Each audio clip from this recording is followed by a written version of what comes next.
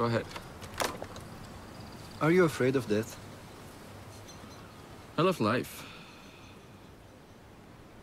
That's why I love living it to the full, because for me, as for every soldier, there's no tomorrow.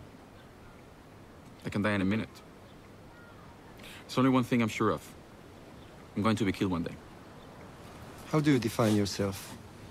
Um, believer? A Marxist? A libertarian? I follow only one religion, and that is Marxism. First of all, because it's a it's a family thing. It's a, it's a question of heredity. It ran in my in my parents' blood. Then I traveled to the USSR and and I formed my own idea of it. I learned dialectics, which is something that every revolutionary should do. But this uh, revolutionary idealism dates from the 60s, yeah? Do you find it still relevant today? For me, there's no there's no longer any any difference between superpowers, whether they are capitalist or communist. They're superpowers, and that's it.